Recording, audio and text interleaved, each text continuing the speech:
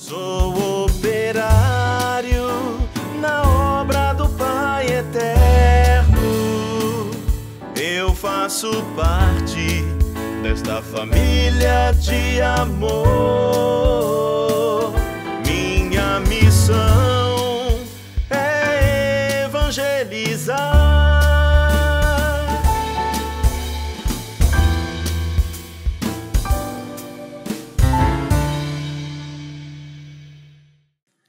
Começou, está no ar o programa Pai Eterno desta terça-feira. Vamos compartilhar a nossa fé e devoção neste encontro diário de irmãos, filhos do Pai Eterno. Hoje tem a participação dos devotos já já. Fique atento você que enviou a sua foto ou vídeo. E olha, hoje nós trazemos também os detalhes de tudo o que aconteceu no Festival Gastronômico de Trindade. Você não pode perder mais uma edição muito especial do programa Pai Eterno. O último fim de semana em Trindade foi para celebrar o início do Advento. É um período para se preparar para o Natal, a festa do nascimento de Cristo. Na casa do Pai, trindadenses e romeiros se reuniram num clima de muita alegria para comemorar este momento tão especial para a nossa igreja.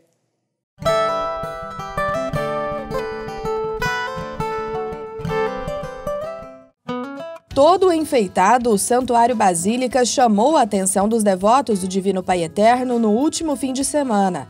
O presépio, montado há poucos dias, ficou cercado de romeiros.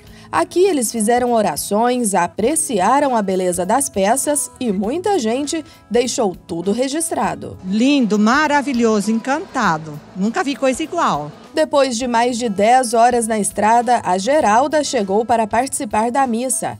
A longa viagem foi para participar da celebração que marcou o início do advento. Tempo que dura quatro semanas e é uma preparação para o Natal. Tudo para esperar o dia 25 com toda alegria, né? Nosso coração aberto. Ao redor do altar, muitas flores decoram e deixam o ambiente ainda mais bonito. E foi aqui, coladinha no altar, que a Aparecida escolheu ficar. Comemorar com Jesus, para a gente receber Ele com os braços abertos. Em oração e com muita fé, milhares de devotos já começaram a se preparar para o dia 25 de dezembro. Muito especial, Emo muito emocionado, maravilhoso, que é o nascimento de Cristo, gente. O advento é a espera para o Natal do Senhor. É um tempo em que o nosso coração vai se preparando na conversão, na mudança gradativa, à luz do Evangelho, à luz daquilo que a igreja nos oferece nas celebrações, para que a gente possa fazer um Natal bonito, não de festejo somente, é, tudo é importante, mas principalmente um Natal em que nós nos lembremos daquele que é o Verbo encarnado que veio para nos salvar, nos dar a redenção, nos dar a vida eterna.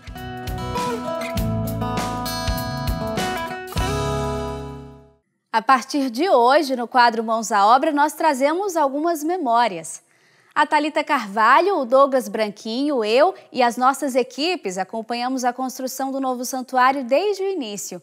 Nós fomos até a obra para falar sobre as boas lembranças que nós temos em todos esses anos de trabalho aqui no programa Pai Eterno. A gente vai, aprende tudo e participa para contar para você tudo o que acontece por lá. Acompanhe.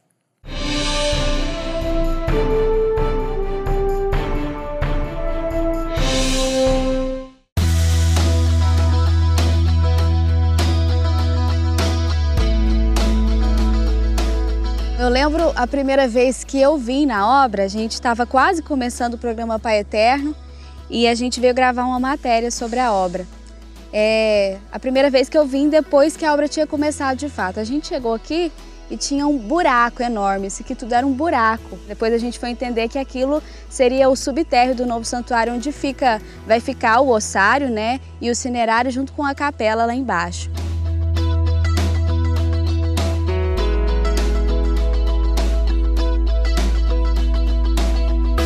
Agora a gente está aqui em cima do lugar onde eu falei que era o buraco. Lá embaixo fica a parte subterrânea do novo santuário. E como no programa Pai Eterno a gente mostra todo dia a obra, a gente vinha muito aqui. Então chegou um, um período assim que eu já conhecia muitas pessoas das que trabalhavam aqui na obra e a gente lembra assim de cada um desses pilares nascendo, nascendo lá embaixo, né? Um momento muito marcante que eu me lembro aqui na obra foi quando eu e o nosso cinegrafista o Jales, a gente subiu a grua. E eu me lembro que a gente colocou equipamento de segurança e foi subindo cada um dessas ferragens assim. A roupa ficou toda cheia de graxa, mas na hora que subiu lá em cima, assim foi muito gratificante. A gente via os trabalhadores construindo uma nova igreja e dava para ver também o novo santuário e a igreja matriz.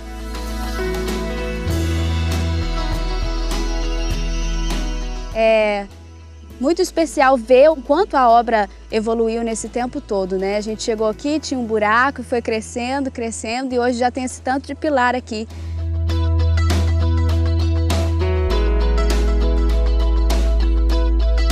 É um sonho que vai se tornando realidade graças à fé e à união dos filhos do Pai Eterno de todo o país. Então é de coração mesmo que eu faço isso, que eu acompanho de perto. E cada momento, para mim, nessa obra, é muito importante e eu vou levar para sempre na minha vida mesmo.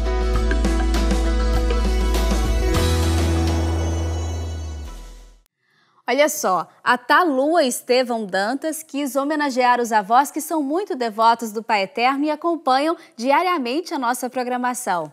Por isso, ela enviou fotos deles para a gente. Estes são o seu Neilton Dantas de Souza e a dona Vânia Vieira de Souza. Em outubro, eles completaram bodas de ouro da União, 50 anos de casados. Ao seu Neilton e à dona Vânia, muitas felicidades e muitos mais anos de união, amor e cumplicidade. Recebam um abraço carinhoso do Padre Robson e de toda a nossa equipe.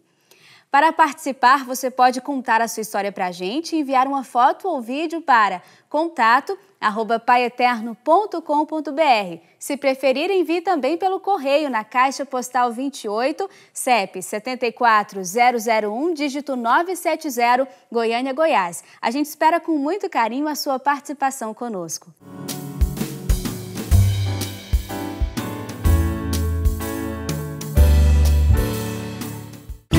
Prepare-se, o amor está chegando. Garanhuns, em Pernambuco, vai receber a visita da imagem peregrina do Divino Pai Eterno. Leve a sua família e amigos para vivenciar este momento de amor e fé. Santa Missa com Padre Robson de Oliveira, no dia 6 de dezembro, às 5 e meia da tarde, horário de Brasília, na Praça Cultural Mestre Dominguinhos. Participe deste encontro de devoção. Venha louvar ao Deus da vida e receber as suas bênçãos.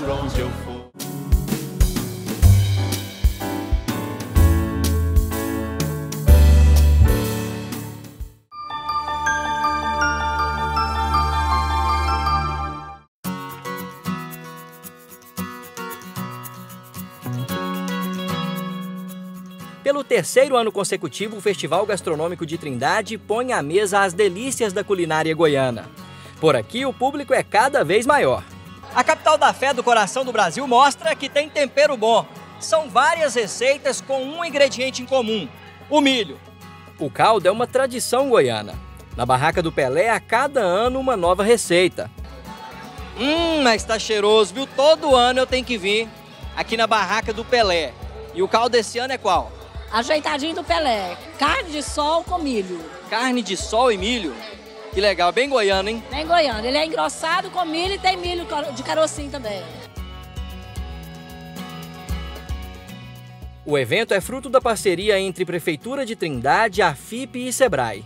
Esse ano a gente já está com mais é, pessoas trindadenses é, prestigiando o nosso evento, então eu creio que esse é o nosso crescimento aí, principal agora no terceiro ano.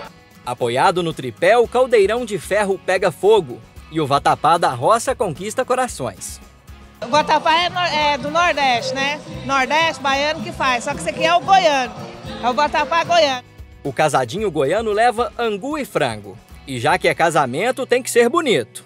Não adianta você usar um prato de qualquer jeito jogado e não ter uma apresentação. Então a gente está trabalhando com essa qualidade, sabor e também o preparo do prato, o estilo do prato. Sabor e aparência aprovados.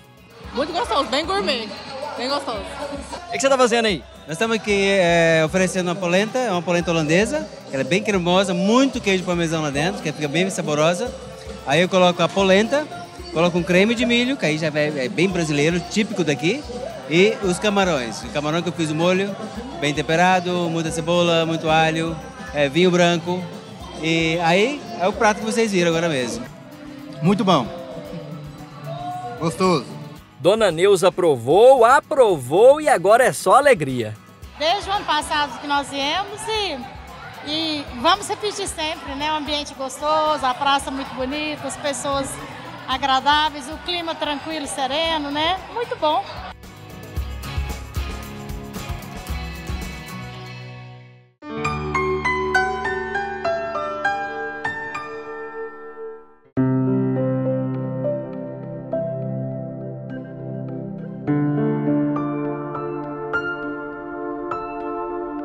Durante o ano inteiro e principalmente na época da festa, é comum que milhares de pessoas façam a romaria a pé até a casa do Pai. Muita gente caminha pelos 18 quilômetros que separam Goiânia e Trindade para agradecer alguma graça recebida ou para pedir bênçãos ao Divino Pai Eterno. Recentemente, a caminhada foi feita por alguém que tem atividade física como meio de vida.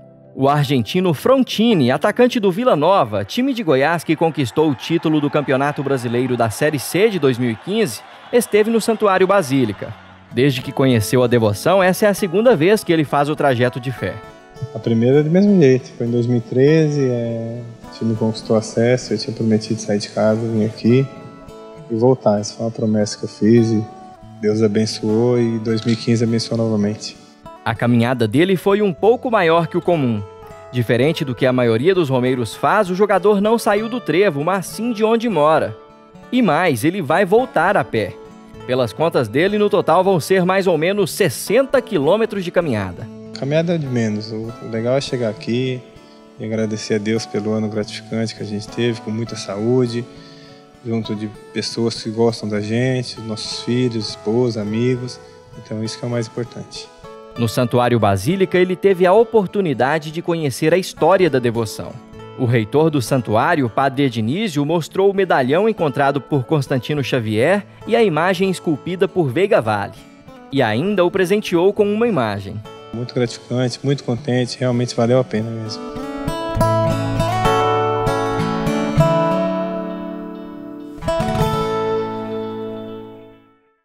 Grande abraço e muito obrigada a você que está sempre em comunhão conosco. Fique com Deus e até amanhã. Um abração. Tchau, tchau.